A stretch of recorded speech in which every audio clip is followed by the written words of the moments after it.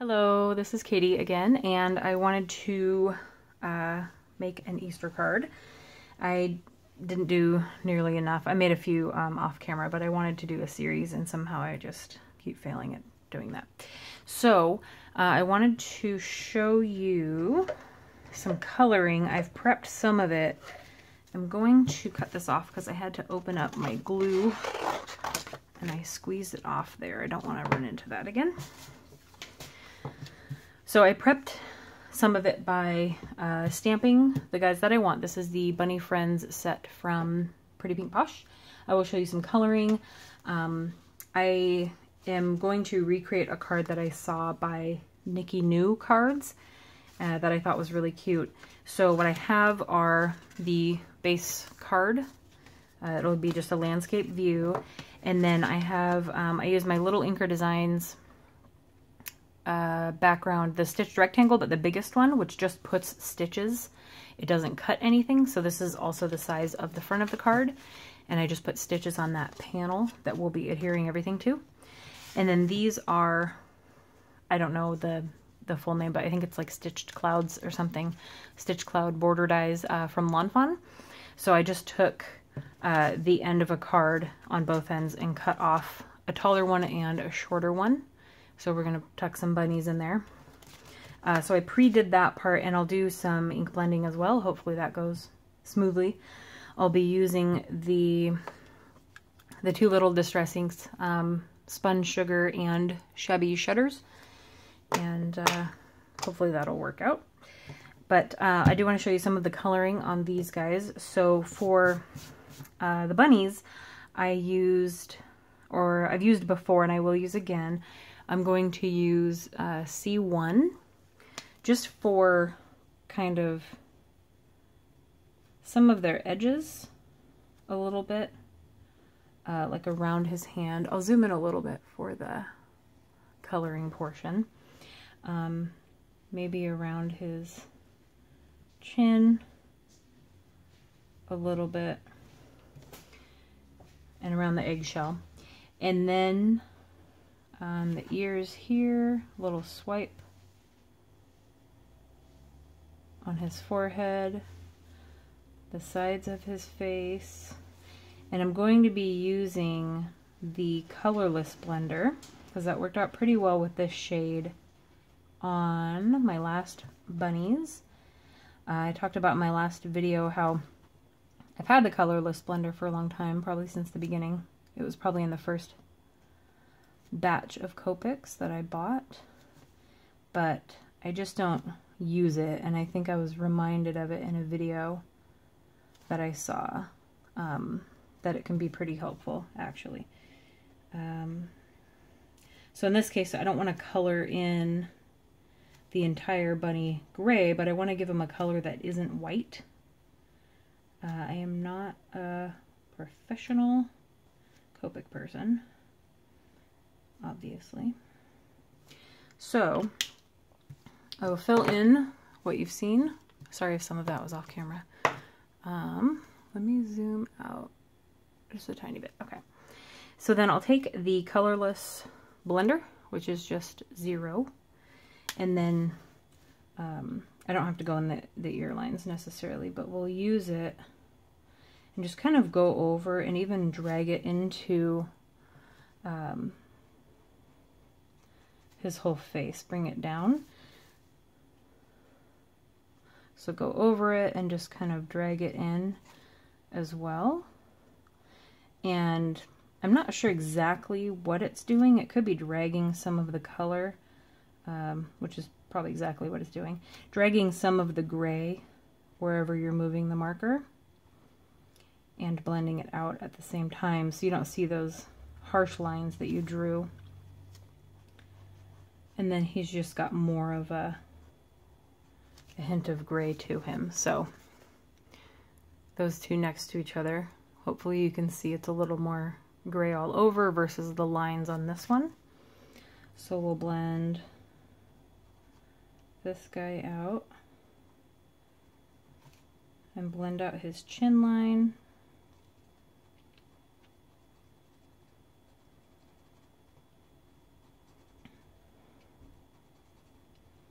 And then I'll be doing their noses pink. Okay, so I'll blend out, just kind of swoosh this back and forth. um, just to save some time, I will die cut these guys out uh, off camera and then we'll come back and place them. But I wanted to show you at least the coloring part. Um, since I don't edit my videos, it just would take way too long and I don't have any software for that.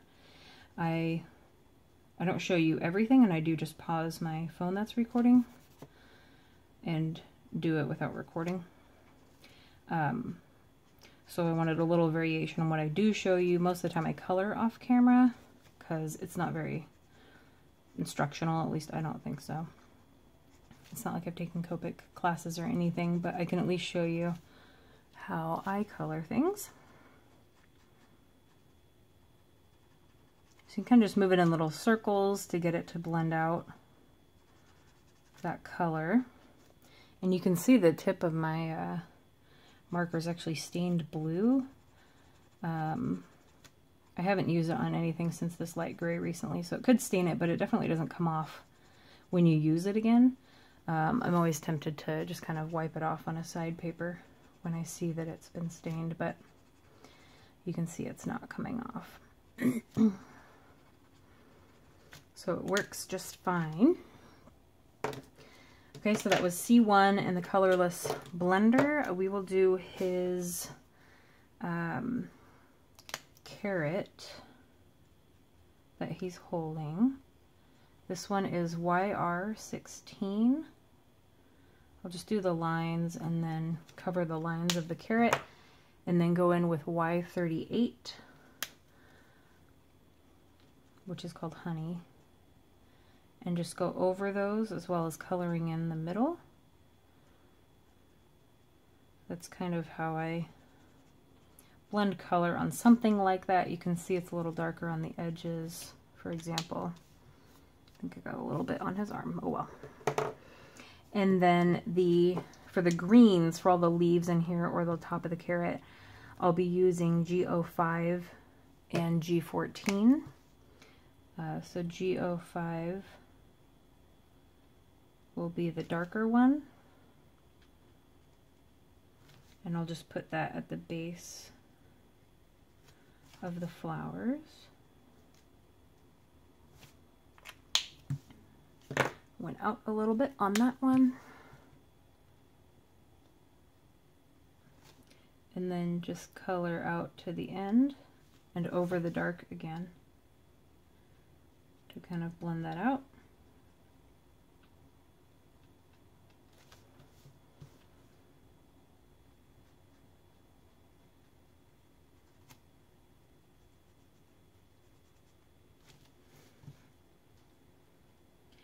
And in the last video, I don't know if I explained it because I was doing the coloring off video, but I actually went over the shading on the butterfly and the leaves with uh, the colorless blender as well. So you kind of can just color over the uh, where the lines meet if you want to blend that any further. And like I said, it doesn't stain it at all or come off on the next color that you do. Uh, and then for, let's see, I'm going to blend out his a little more. I can see some of the lines that I made. Okay. So for their noses, I'll just use uh, RV13.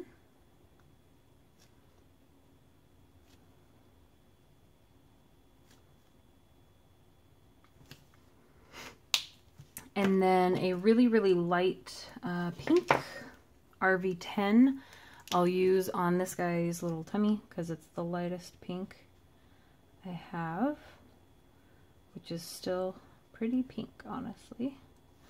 But that's pretty cute. And then I'll use the same light pink because it's the lightest one I've got uh, for the insides of their ears. And hopefully this shade will be pretty close to the uh, Spun Sugar Distress ink that I'll be blending into the top of the panel which is kind of the sky.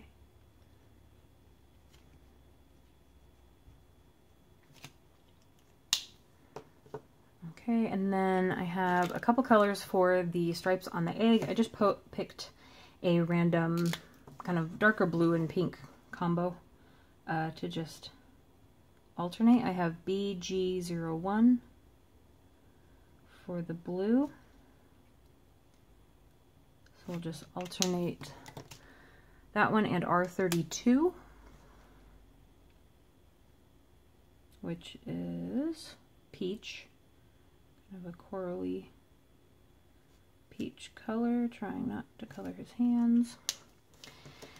And then for the flowers, I've picked uh, for, I'm going to do one of them purple, y, or uh, V15, which is mallow, and lilac, which is V04. Um, so I was just going to line the bottom half with that, and then hopefully blend it.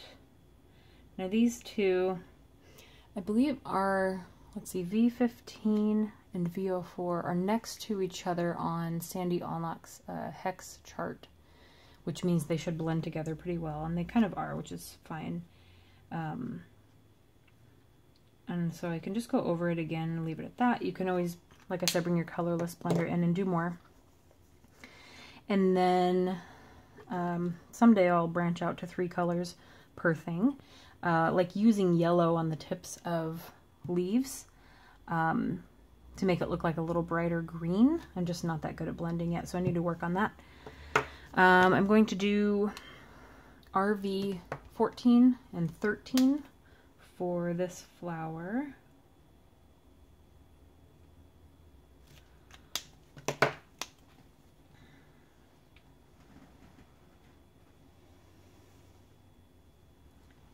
And just try and blend that out a little bit with the marker itself. And then uh, for these two, I'll probably just repeat one of the colors, or I could do both again. We'll do 14 on the outer portion of this one.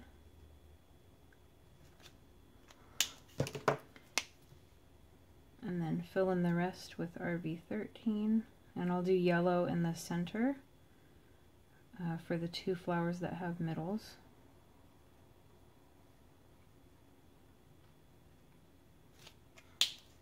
And the yellow I chose is Y08 acid yellow. It's just kind of a bright yellow. And then I will do the uh, V15 and V04 combo again for this flower.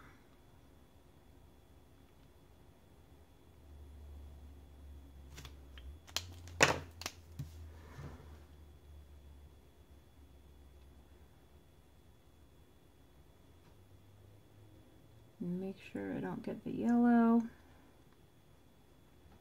in the middle. Okay, and then uh, the last thing, I'm going to just try and do a little bit of the edges and then blend it out with a colorless blender for the eggshell. And I'm going to use the lightest purple I have, which is Pale Heath V000. Um, so I'll just kind of go down the side with that. And then hopefully this works out. I'll zoom in a little bit for this guy.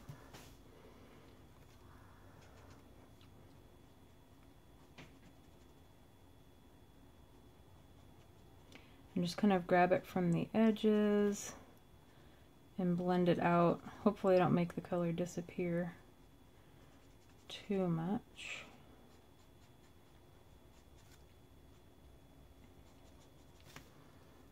So it's just got a light purple shading. Looks fine for me. So I will zoom out here and I'm just going to pause while I die cut all these guys out and then we can um, do the ink blending and put the card together. Okay, so I have die cut all of these guys out. I'm going to set them off to the side. I'll leave them there because they're cute so you can see them. And so the card base I can leave to the side. So for this one, we're going to do um, the Spun Sugar Distress Ink. I think this is the blender I used for it last. And I just hope this works out. Hopefully I'm not shaking you.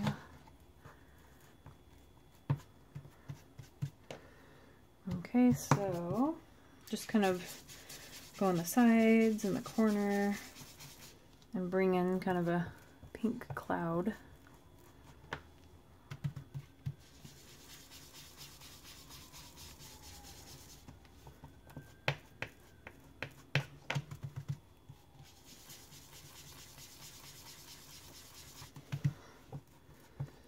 Usually just tap off a little bit onto a post-it note so I don't bring in so much of the dark pink. So I'll just go down a little bit, come in on the corners a little more.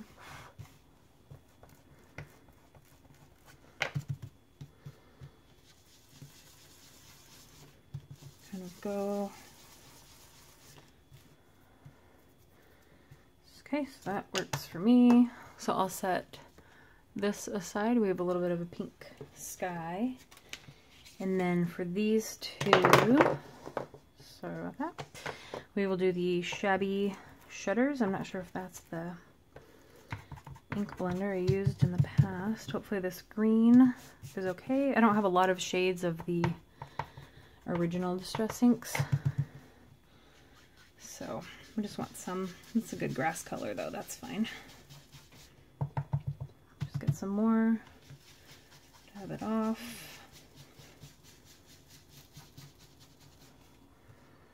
Okay, just want a hint of it, don't want to color the whole thing. This one's a little thinner, so it's a little more fragile. I just want to make sure to pin it down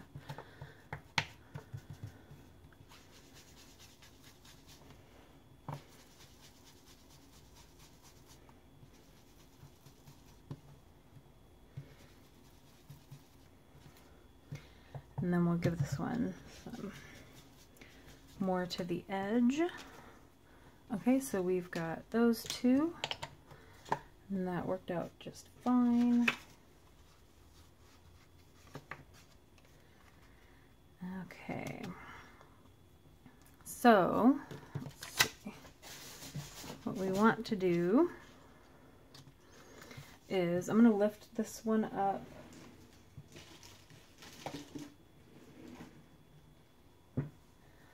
on, I think I want to lift it up on some foam tape.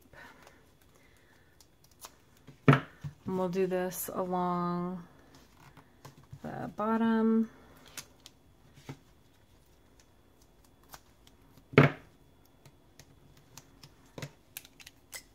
And I just rip off of the, the foam roll. I don't really measure that much. We'll put some going up the sides as well.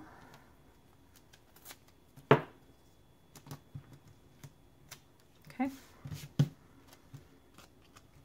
So then this one will be the first one. I'll line it up with the bottom and the sides. Then we'll be able to stick some bunnies behind it and also in front of it. So we'll do more foam tape along the bottom of this one. Almost perfect. And that one won't need any more on the sides, so that should be fine. So then we'll line this up on the bottom and the corner. This would be a little bit of a taller card. Uh, so if you want to send it through the mail, maybe protect it a little more if you make something that tall. Okay, so now we have the back panel. I think I will uh, stamp the sentiment first. And I believe I want the uh, Easter sentiment. I think it might be on the the friends with the people on it. So I'm going to try and find that really quick. I'm going to pause. Okay, so the Happy Easter sentiment is in the uh, Easter Friends, the ones, the stamp set with the people on it. So we will mount that. Be extra careful with the ink pad around something you've already done because you will probably drop it on a card once in your card making career. I think I've done that mm, twice and I've been super super careful ever since. So we will stamp that up here. Clean that later. Okay, so then, now that I've done that part, I'll adhere this to the card, and then we can put our bunnies down.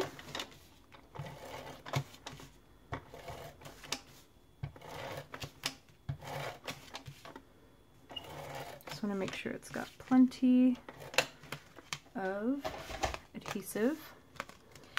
So then we want to make sure we at least line this along the top and the sides so we don't have any of the top exposed where the card is connected. And then take some bunnies and this guy can be, I've got my glue ready to go. and we'll just, this wasn't clogged a little bit ago. Okay. So I've been using a mechanical pencil to unclog this glue. It's driving me crazy. I have one of them with the little unclogger thing, but I'm not sure where that glue is. Oops, that didn't go well. Okay. So we'll put glue. Come on. It just came out. Okay, I'm going to pause and fix this. Okay, so I have so many of these. I just cut the tip off because I could not get it unclogged. I need to get more of those uh, unclogging tips. The needle tip things. Okay, so we will put him behind here and stick him down.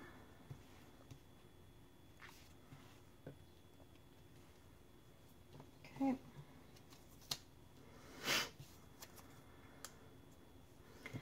And then little bit of glue. This is really sticky glue, so it should be good in front there.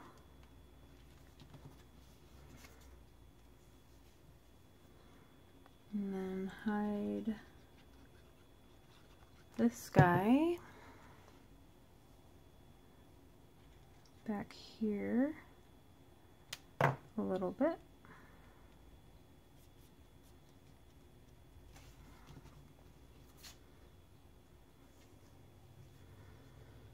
And then this one can be up front.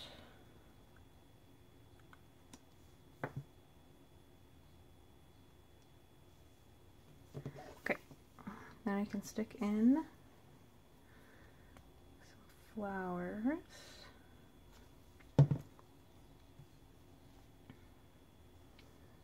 Put this one over here.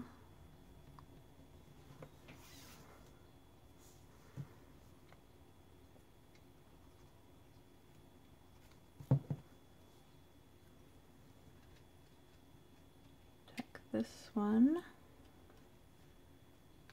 back there.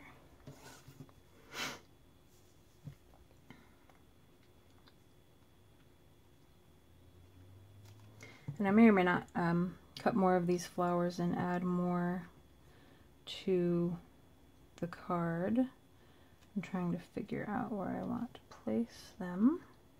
Um, there's a smaller version of this one on the stamp set too, so I could cut littler ones and it has a die as well. And then this one we'll put behind the back row coming out right there. Okay. So Nikki's card also had some, I think, the, the new gems from Pretty Pink Posh. I could add sequins to this as well. Um, I think the 3D scene is pretty cute. Uh, I kind of like it as it is, but everyone feels differently about adding embellishments and stuff like that. So we have our little bunnies sticking out and uh, that's it. So hopefully this video wasn't too long and you learned something. And that's about it. Thank you for watching. Bye.